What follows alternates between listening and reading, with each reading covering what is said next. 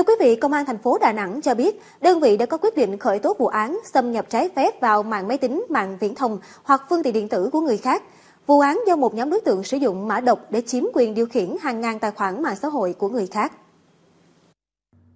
Qua điều tra, Phòng An ninh mạng Công an thành phố Đà Nẵng đã phát hiện một nhóm đối tượng khoảng 9 người thuê một ngôi nhà ở quận Ngũ Hành Sơn, sử dụng hàng chục thiết bị máy tính cấu hình cao để phạm tội. Nhóm đối tượng này tạo hàng chục tài khoản mạng xã hội, phát tán các đường link có chứa mã độc. Khi nạn nhân nhấn vào, mã độc sẽ lan truyền và thu thập thông tin các tài khoản của nạn nhân có trên máy tính. Lợi dụng thủ đoạn này, từ tháng 5 năm ngoái đến nay, nhóm này đã chiếm dụng hàng ngàn tài khoản mạng xã hội Facebook, loại quản lý doanh nghiệp của cá nhân, tổ chức trong và ngoài nước có giá trị cao để trục lợi. Vụ việc đang được tiếp tục điều tra làm rõ. Cơ quan Cảnh sát điều tra Công an tỉnh Hà Giang đã ra quyết định khởi tố bị can, lệnh bắt tạm giam đối với 6 bị can về tội vận chuyển hàng cấm, được quy định tại Điều 191 Bộ Luật Hình sự năm 2015. 6 đối tượng bị khởi tố bắt tạm giam gồm Thèn Văn Khánh, sinh năm 1993, Vàng Văn Cường, sinh năm 1981, Sùng Xính Toàn, sinh năm 1977, Táo Hoàng Hải, sinh năm 1986, Sùng Văn Tây, sinh năm 1980 và Lù Văn Kim, sinh năm 1981. Sáu đối tượng cùng trú tại huyện Xín Mần, tỉnh Hà Giang – Trước đó, ngày 4 tháng 5, cơ quan cảnh sát điều tra đã khởi tố vụ án, khởi tố bị can, bắt tạm giam đối với Mạch Đức Hải, sinh năm 1980, trú tại phường Hòa Lạc, thành phố Móng Cái, tỉnh Quảng Ninh, về hành vi tổ chức vận chuyển hàng cấm là 9.700 bao thuốc lá điếu thành phẩm do nước ngoài sản xuất. Theo cơ quan điều tra, Hải đã thuê 6 người trên chở 9.700 bao thuốc lá điếu. Trong quá trình vận chuyển, nhóm này đã bị công an phát hiện bắt giữ. Tại thành phố Thủ Dầu Một, tỉnh Bình Dương đã xảy ra vụ nổ lớn ở tầng hầm chung cư. Vụ việc khiến 4 người bị thương phải nhập viện cấp cứu. Lực lượng chức năng đang phong tỏa hiện trường. Khoảng 10 giờ ngày 24 tháng 5, tại khu vực tầng hầm chung cư Sunrise, bất ngờ xảy ra nổ lớn khiến 4 người bị thương, trong đó có một người bị thương nặng. Theo thông tin ban đầu, vụ nổ nghi là do xưởng máy lạnh bị nổ khí đi tờ. Hiện lực lượng chức năng đang điều tra làm rõ nguyên nhân.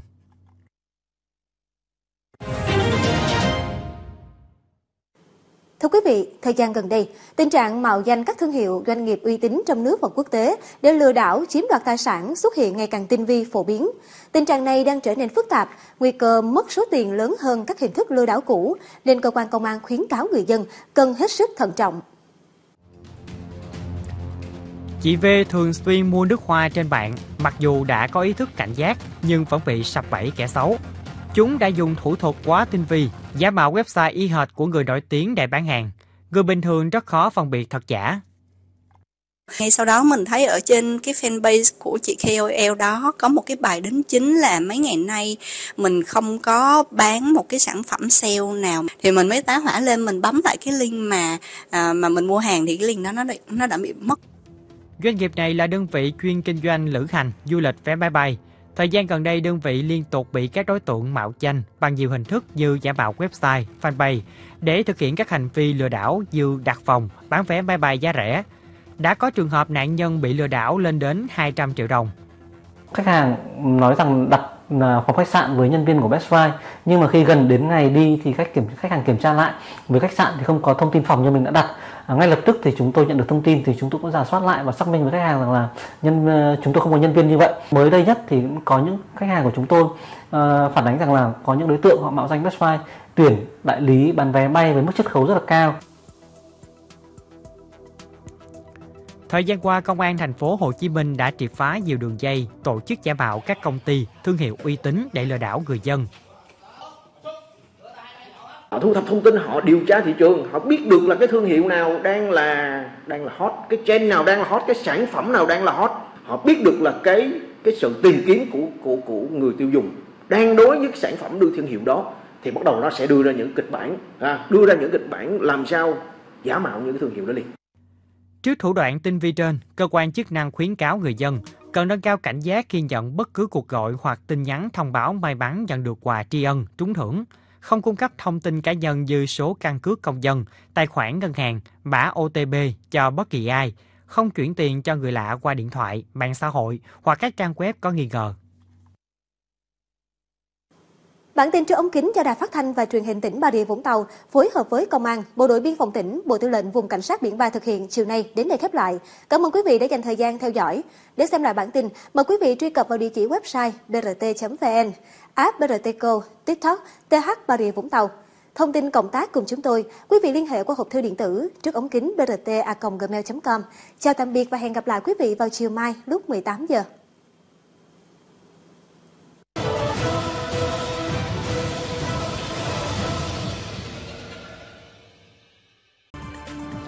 Thành phố Bà Rịa tổ chức kỷ niệm 30 năm ngày thành lập và đón nhận huân chương lao động hạng nhất.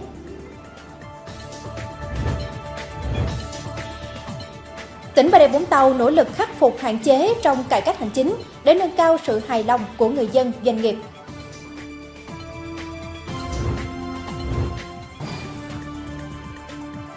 Năm 2024, tỉnh Bà Rịa Vũng Tàu phấn đấu đưa vào hoạt động 30 dự án, góp phần thúc đẩy tăng trưởng công nghiệp tỉnh nhà. Bệnh án điện tử là mắt xích cốt lõi của chuyển đổi số y tế quốc gia. Đây cũng chính là niềm mong mỏi của các bệnh viện lẫn đội ngũ nhân viên y tế. Trong phần tin thế giới, Hội đồng Bảo an Liên Hợp Quốc thông qua nghị quyết về bảo vệ nhân viên cứu trợ. Ai Cập kêu gọi thực thi phán quyết của Tòa án Công lý Quốc tế đối với Israel.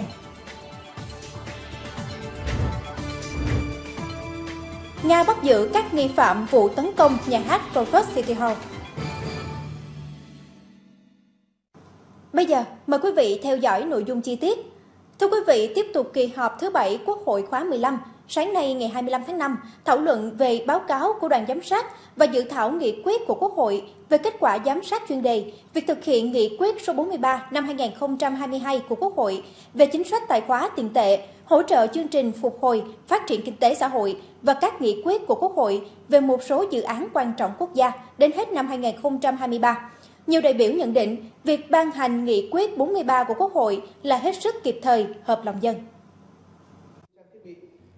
Các đại biểu Quốc hội cho rằng các chính sách đưa ra trong nghị quyết số 43 của Quốc hội có tính chiến lược, giúp thúc đẩy phát triển kinh tế xã hội, bổ sung nguồn lực lớn từ ngân sách nhà nước và các nguồn vốn huy động khác để thực hiện chính sách an sinh xã hội, tháo gỡ khó khăn cho doanh nghiệp và người dân, vực dậy cả cung và cầu của nền kinh tế.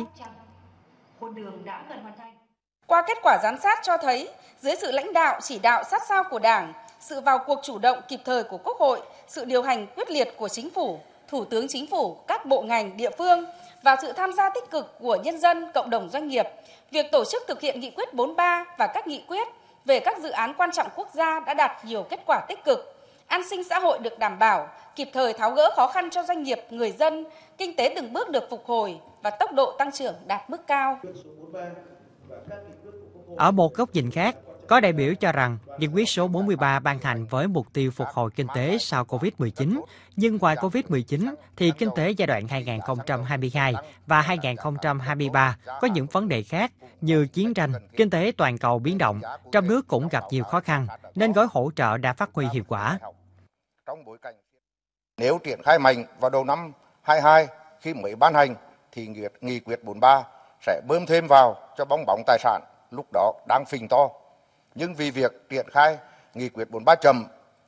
vào lúc bóng bóng đã qua định và bắt đầu quá trình hạ cánh nên nghị quyết 43 có tác dụng giúp Việt Nam hạ cánh mềm thay vì hạ cánh cứng như nhiều nước khác. Bên cạnh đó, sự thất bại của gói hạ lãi suất 2% chỉ giải ngân được 3,5%, nhìn ở khía cạnh nào đó cũng chưa hẳn là thất bại. Nếu gói này hoạt động tốt thì chắc chắn việc đối phó với lạm phát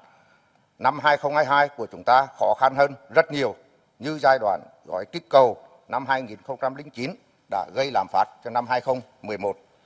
Vì những yếu tố đó, Việt Nam đã không lâm vào làm phát cao như nhiều nước phát triển như Mỹ và EU. Tuy nhiên, chúng ta vẫn có tốc độ tăng trưởng khá dù thấp hơn chỉ tiêu quốc hội nhưng vẫn được coi là ổn các đại biểu cũng đánh giá công tác điều hành của chính phủ khá linh hoạt, đã chủ động đưa ra thêm các giải pháp khác để ứng phó với tình hình. Giảm thuế xăng dầu là giải pháp vô cùng thiết thực khi giá nhiên liệu toàn cầu tăng, lại giúp cho quá trình phục hồi kinh tế diễn ra thuận lợi hơn. Về đầu tư công, các nước khác sử dụng chính sách đầu tư công để phục hồi kinh tế rất hiệu quả, nhưng chúng ta gặp nút thắt về pháp luật và siết chặt kỹ cương bộ máy nên đầu tư công không phát huy được hết tác dụng. Trong phiên làm việc buổi chiều, Quốc hội tiếp tục thảo luận về báo cáo của đoàn giám sát và dự thảo nghị quyết của Quốc hội về kết quả giám sát chuyên đề vì thực hiện nghị quyết số 43 của Quốc hội về chính sách tài khóa, tiền tệ hỗ trợ chương trình phục hồi, phát triển kinh tế xã hội và các nghị quyết của Quốc hội về một số dự án quan trọng quốc gia đến hết năm 2023. Các thành viên chính phủ có liên quan đã giải trình làm rõ một số vấn đề đại biểu Quốc hội nêu.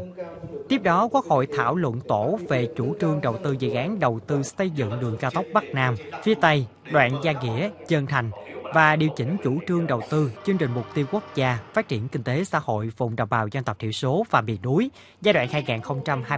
2021-2030. Thưa quý vị, ghi dấu 30 năm xây dựng phát triển, tối ngày 24 tháng 5, Thành ủy, Hội đồng Nhân dân, Ủy ban Nhân dân, Ủy ban Mặt trận Tổ quốc Việt Nam thành phố Bà Rịa tổ chức chương trình nghệ thuật chủ đề Bà Rịa đất anh hùng, kỷ niệm 30 năm ngày thành lập thị xã Bà Rịa, nay là thành phố Bà Rịa và đón nhận huân chương lao động hạng nhất.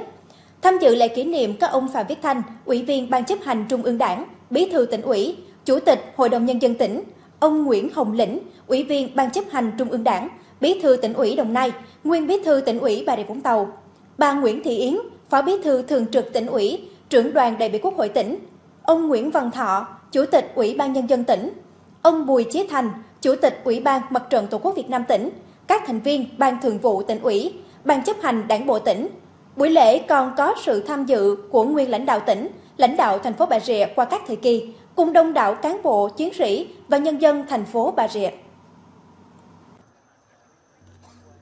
Chiến văn ôn kỷ niệm 30 năm thành lập thị xã Bà Rịa, nay là thành phố Bà Rịa, đã khắc họa hình tượng Bà Rịa từ một thị trấn nhỏ thuộc huyện Châu Thành. Sau khi chia tách, trở thành thị xã trong những ngày đầu vô cùng khó khăn, gian khổ, nhưng chỉ sau chưa tới 10 năm đã phát triển thành trung tâm hành chính chính trị tỉnh, trở thành thành phố đô thị loại 2, cùng với những bước phát triển vượt bậc đầy tự hào. Là địa phương duy nhất tỉnh Bà Rịa Vũng Tàu hai lần được phong tặng danh hiệu anh hùng, anh hùng lực lượng vũ trang nhân dân và anh hùng lao động, được Bộ Văn hóa Thể thao Du lịch công nhận là thị xã văn hóa điển hình. Ban chấp hành Trung ương Đảng khóa 9 biểu dương điểm sáng văn hóa cả nước. Đến hết năm 2023, địa phương không còn hộ nghèo theo chuẩn quốc gia, hộ nghèo theo chuẩn của tỉnh chỉ còn 0,18%. Hiện Bà Rịa đang nỗ lực hoàn thiện các tiêu chí đô thị loại 1, hướng đến mục tiêu trở thành đô thị trung tâm của tỉnh. Với niềm tin và khát vọng ở hành trình mới, thay mặt lãnh đạo thành phố, tôi kêu gọi toàn thể cán bộ, đảng viên, chiến sĩ lực lượng vũ trang, các tầng lớp nhân dân và cộng đồng doanh nghiệp của thành phố tiếp tục phát huy truyền thống quê hương Bà Rịa anh hùng, đưa thành phố trẻ nói riêng, tỉnh Bà Rịa Vũng Tàu và đất nước ngày càng phát triển sâu rộng, toàn diện và bền vững. Ghi nhận thành quả dựng xây của đảng bộ, chính quyền và nhân dân thành phố Bà Rịa, Chủ tịch nước đã trao tặng huân chương lao động hạng chức. Ban chấp hành đảng bộ tỉnh cũng tặng bức trướng cho đảng bộ, chính quyền và nhân dân thành phố Bà Rịa. Phát biểu tại buổi lễ, ông Phạm Viết Thanh, Ủy viên Trung ương Đảng, Bí thư tỉnh ủy, Chủ tịch Hội đồng nhân dân tỉnh nhấn mạnh, theo quy hoạch tỉnh, sau năm 2030, Bà Rịa nằm ở vị trí trung tâm của khu vực dự kiến thành lập thành phố Bà Rịa, Vũng Tàu, trực thuộc Trung ương. Do đó, đảng bộ, chính quyền, quân và dân thành phố Bà Rịa cần tiếp tục nêu cao tinh thần đoàn kết, trách nhiệm, quyết tâm hơn nữa, hành động hiệu quả hơn nữa để hiện thực hóa khát vọng phương xa hơn, thực hiện thắng lợi các mục tiêu phát triển kinh tế xã hội, bảo đảm quốc phòng an ninh, chăm lo xây dựng đảng và hệ thống chính trị ngày càng trong sạch, vững mạnh. Đảng bộ, chính quyền, quân và dân thành phố Bà Rịa cần quyết tâm nỗ lực hơn nữa để thực hiện hoàn thành thắng lợi nghị quyết đại hội đảng bộ thành phố Bà Rịa lần thứ sáu, nghị quyết đại hội đại biểu đảng bộ tỉnh đảng bộ lần thứ bảy góp phần thực hiện thắng lợi nghị quyết đại hội đảng lần thứ 13. Thúc đẩy hoàn thiện hệ thống cơ sở hạ tầng giao thông, trong đó tập trung hoàn thành các công trình trọng yếu đầu mối các tuyến quốc lộ, tỉnh lộ đến các huyện, thị xã, thành phố trong tỉnh và các đô thị thuộc vùng kinh tế trọng điểm phía Nam, đồng thời tận dụng những thành quả cơ hội từ hạ tầng giao thông kết nối để đề xuất, để bố trí vốn để thực hiện các công trình dự án tạo cơ hội phát triển kinh tế cho địa phương thành phố Bà Rịa nâng cao chất lượng cuộc sống của người dân.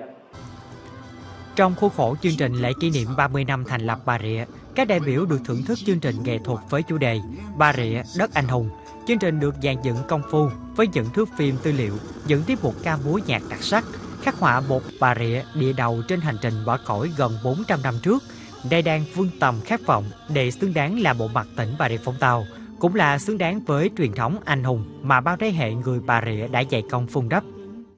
Hòa với xu thế phát triển chung của cả nước, tôi đi đâu cũng thấy các đô thị, các làng mạc của chúng ta đều phát triển. Và mừng nhất là Bà Rịa của chúng ta bắt kịp nhịp độ đó để ngày một phát triển và tôi tới lần này thì mình cảm thấy là ngỡ ngàng vì Bà Rịa của chúng ta đẹp quá. Mình rất là cảm thấy chương trình rất là hay, đặc sắc và rất nhiều ý nghĩa gây lên bồi hồi xúc động. Mình hy vọng là thành phố mình luôn phát triển và phồn vinh và người dân mình cũng luôn hạnh phúc. Ngay sau chương trình là màn bắn pháo hoa nghệ thuật chào mừng 30 năm thành lập Bà Rịa, thu hút đông đảo người dân địa phương, du khách thượng lãm.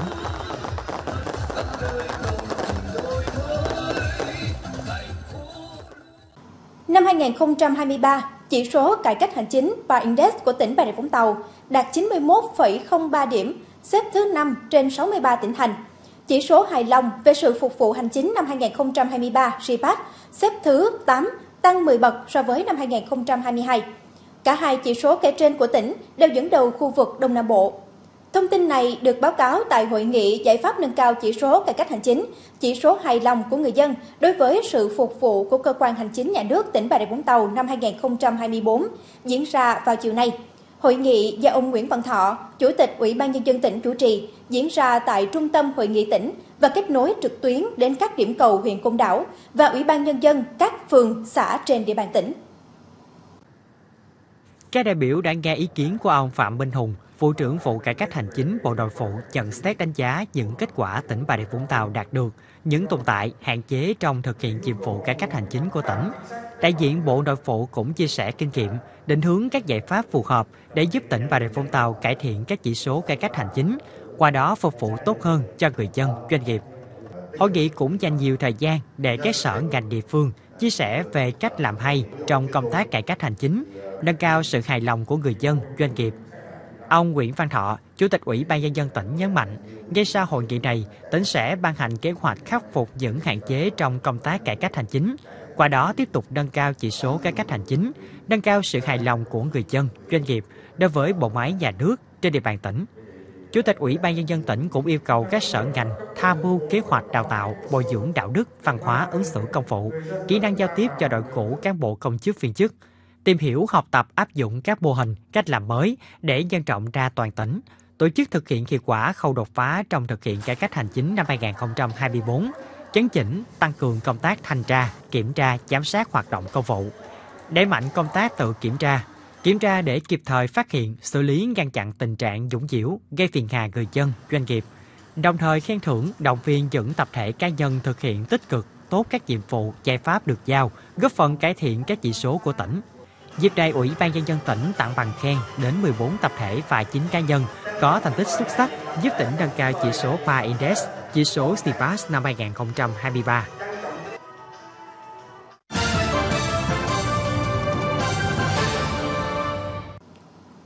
Chương trình thời sự tối tiếp tục với những thông tin kinh tế. Thưa quý vị, với sự đồng hành của chính quyền các cấp cùng nỗ lực của các nhà đầu tư, ngay trong những tháng đầu năm 2024, nhiều dự án công nghiệp mới trên địa bàn tỉnh Bà Rịa Vũng Tàu đã đi vào hoạt động, góp phần làm gia tăng giá trị sản xuất ngành công nghiệp. Đây là điều kiện để tỉnh phấn đấu hoàn thành chỉ tiêu tăng trưởng giá trị sản xuất công nghiệp trừ dầu khí 10,11% trong năm 2024.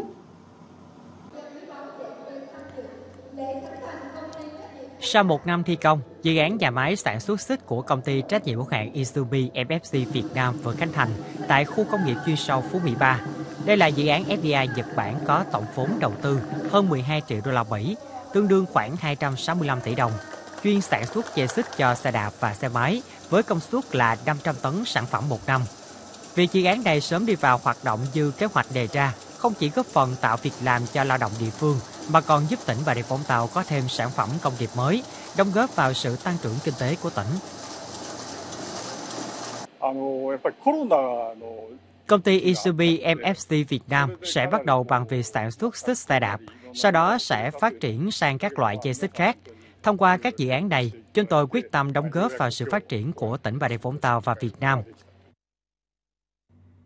Sau hơn một năm đầu tư, công ty trách nhiệm hữu hạn pha Vũng Tàu đang vận hành thử nghiệm dự án nhà máy chế tạo cơ khí và kết cấu thép pha Vũng Tàu, có quy mô diện tích 15,3 hecta.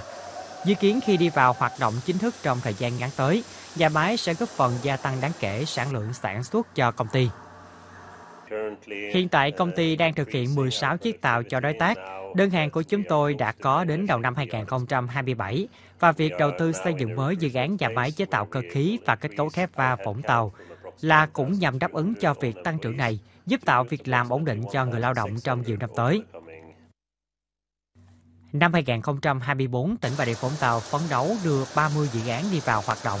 Trong 4 tháng đầu năm, đã có 12 dự án cơ bản hoàn thành, đi vào hoạt động hoặc vận hành thử nghiệm. Những dự án này cùng với việc gia tăng hoạt động sản xuất của các dự án cũ đã góp phần đưa giá trị sản xuất công nghiệp của tỉnh thực hiện trong 4 tháng đầu năm đạt 140.887 tỷ đồng, tăng 12,97% so với cùng kỳ năm 2023. Hiện Sở Công Thương và Ban Quản lý các khu công nghiệp tỉnh đang tiếp tục phối hợp với các ngành, các địa phương ra soát, nắm bắt tiến độ các dự án công nghiệp đang triển khai để có giải pháp hỗ trợ hoặc đôn đốc các chủ đầu tư đảm bảo tiến độ đưa dự án đi vào hoạt động đúng kế hoạch đề ra. Chúng tôi cũng tích cực à, phối hợp với các sở ban ngành để tổ chức các hoạt động à, xúc tiến à, đầu tư, kêu gọi đầu tư các nhà đầu tư thứ cấp đầu tư vào các cụm công nghiệp để đảm bảo làm sao là cho các cụm công nghiệp đạt được hiệu quả cao nhất. Song song với các giải pháp trên, ngành công thương Bà Rịa Vũng Tàu còn kêu gọi đầu tư vào lĩnh vực công nghiệp hỗ trợ, chế biến, chế tạo nhằm tạo đột phá cho tăng trưởng công nghiệp của tỉnh trong năm 2024 và những năm tiếp theo.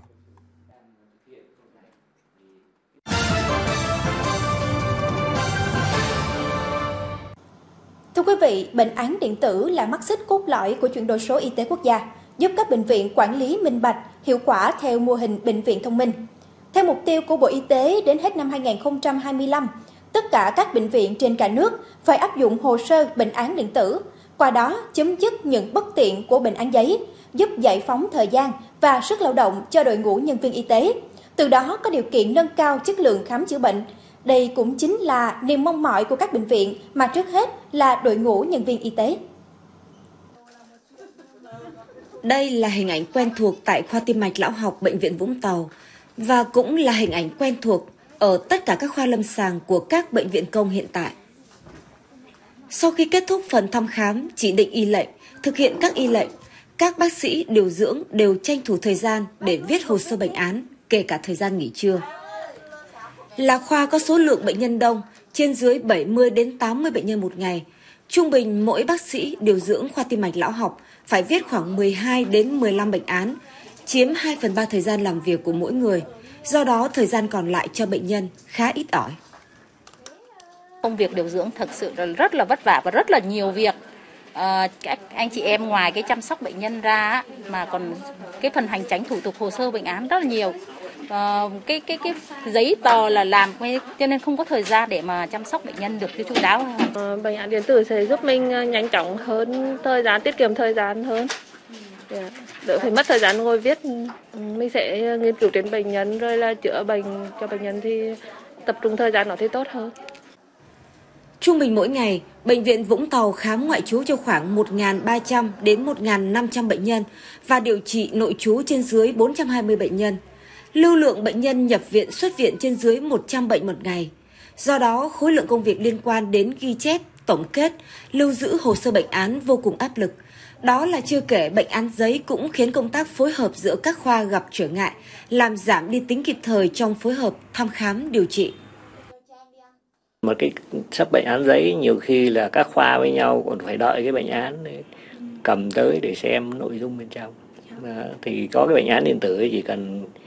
có cái máy tính là mình biết được hết. Bệnh án điện tử được Bộ Y tế đánh giá là cốt lõi và điểm khởi đầu cho mọi nỗ lực chuyển đổi số trong lĩnh vực y tế.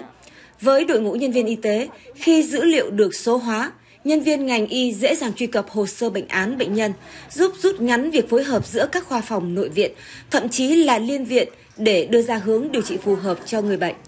Số hóa dữ liệu cũng giúp giải phóng thời gian, sức lao động cho đội ngũ nhân viên y tế khi không phải ghi chép thủ công, từ đó tập trung thời gian cho công tác thăm khám điều trị hay các hoạt động nghiên cứu nâng cao trình độ chuyên môn.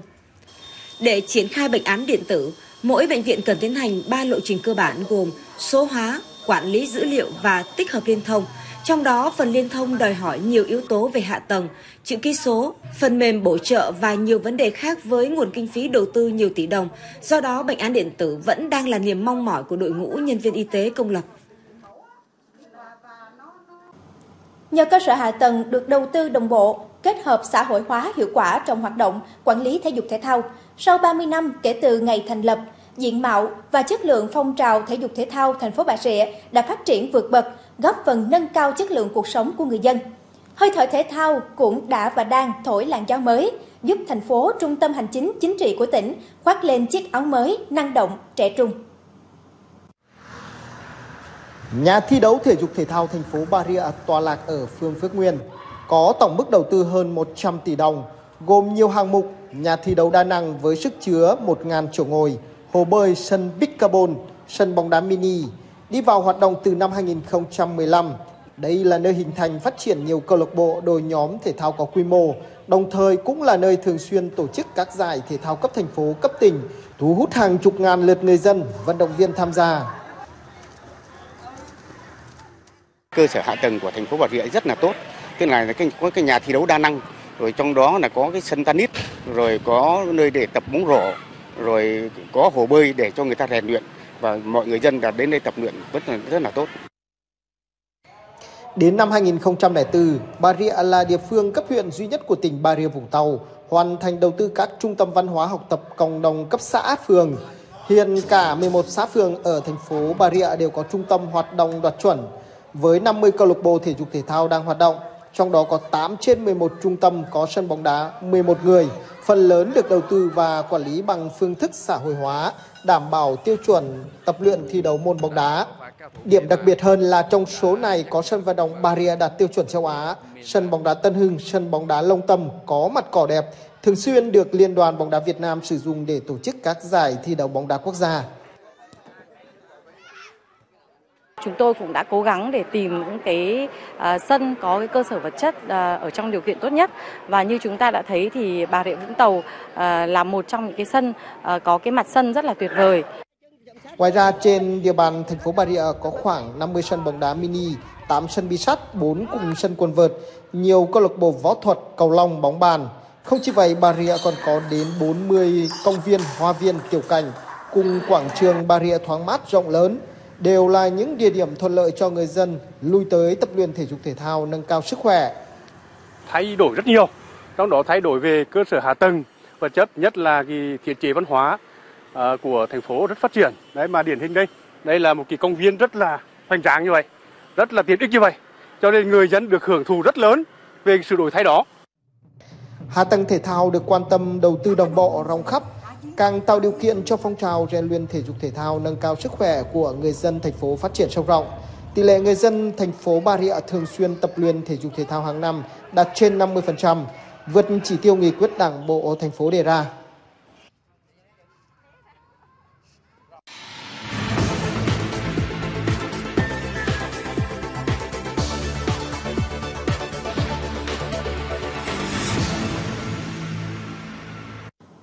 Tục chương trình thời sự tối, mời quý vị cùng cập nhật những tin tức quốc tế. Thưa quý vị, rạng sáng nay theo giờ Việt Nam, trong phiên họp tại trụ sở ở thành phố New York, Mỹ, Hội đồng Bảo an Liên Hợp Quốc đã thông qua nghị quyết 2730, trong đó kêu gọi các quốc gia tôn trọng và bảo vệ nhân viên cứu trợ, nhân viên Liên Hợp Quốc và những người liên quan. Nghị quyết nhận được sự ủng hộ của 14 trên 15 thành viên Hội đồng Bảo an, yêu cầu các bên trong xung đột vũ trang phải tuân thủ đầy đủ nghĩa vụ của mình theo luật pháp quốc tế, bao gồm luật nhân quyền quốc tế và luật nhân đạo quốc tế, trong đó có cả các nghĩa vụ liên quan đến việc tôn trọng và bảo vệ tính mạng của tất cả nhân viên hoạt động cứu trợ. Đặc biệt, nghị quyết yêu cầu tất cả các bên tham gia xung đột vũ trang, cho phép và tạo điều kiện thuận lợi để tất cả thường dân đang gặp khó khăn được tiếp cận viện trợ nhân đạo một cách đầy đủ, an toàn, nhanh chóng và không bị cản trở. Đồng thời bảo vệ sự an toàn, an ninh và tự do di chuyển của nhân viên cứu trợ nhân đạo nói chung và sự an toàn cho các cơ sở và tài sản của họ. Người phát ngôn quân sự của lực lượng Houthi ở Yemen, ông Yahia Sharia cho biết, lực lượng này đã tấn công ba tàu thương mại đang hướng tới các cảng của Israel. Phát biểu trên truyền hình, ông Sharia đeo rõ lực lượng Houthi đã tấn công các tàu Janis ở Biển Đỏ, tàu Estes ở Địa Trung Hải và tàu MST Alexandra ở Biển Ả Rập. Song không nêu cụ thể thời điểm tiến hành. Đầu tháng này, thủ lĩnh của lực lượng Houthi ở Yemen đã tuyên bố sẽ tấn công tất cả các tàu hướng tới các cảng của Israel, chứ không chỉ những tàu di chuyển qua khu vực Biển Đỏ mà lực lượng này đã nhắm tới trước đó. Houthi đã liên tục sử dụng thiết bị bay không người lái và tên lửa tấn công các tàu thương mại trên tuyến vận chuyển quan trọng qua Biển Đỏ, eo biển Ba al-Madad và Vịnh Aden kể từ tháng 11 vừa qua để thể hiện sự ủng hộ của lực lượng này đối với người Palestine trong cuộc xung đột tại giải Gaza. Tình hình này khiến một số hãng vận tải biển chủ chốt phải định tuyến lại lộ trình di chuyển để chi phí vận tải tăng cao. Chính phủ Mỹ đã công bố gói viện trợ quân sự mới cho Ukraine, bao gồm một lượng lớn đạn dược, tên lửa, mìn và đạn pháo có giá trị lên tới 275 triệu đô la Mỹ. Theo Ngoại trưởng Mỹ Antony Blinken, các khí tài thuộc các gói viện trợ trước đó đã được đưa lên tuyến đầu và Mỹ sẽ chuyển giao gói hỗ trợ mới này nhanh nhất có thể. Phản ứng trước việc phương Tây cung cấp vũ khí cho Ukraine, giới chức Nga cho rằng hành động này sẽ chỉ làm cuộc xung đột kéo dài và gia tăng nguy cơ đối đầu trực tiếp giữa các nước phương Tây và Moscow. Liên quan tới nỗ lực chấm dứt xung đột, Tổng thống Nga Putin cho biết Nga sẵn sàng đàm phán với Ukraine. Tuy nhiên, phải dựa trên các thỏa thuận đã đạt được tại các vòng đàm phán trước đó tại Thổ Nhĩ Kỳ và Belarus Giới chức an ninh Nga cho biết đã bắt giữ hơn 20 đối tượng tình nghi liên quan vụ tấn công nhà hát Krokus City Hall ở Moscow hồi tháng 3, khiến 144 người thiệt mạng. Cơ quan an ninh Liên bang Nga FSB cho biết, trong số các đối tượng bị bắt giữ có 4 nghi phạm người Tajikistan trực tiếp thực hiện vụ tấn công. Hiện chưa rõ thời điểm diễn ra phiên tòa xét xử. Cũng theo FSB, các công đoạn chuẩn bị tài trợ tấn công và rút lui của những kẻ khủng bố đều được phối hợp qua mạng Internet giữa các thành viên của ISK,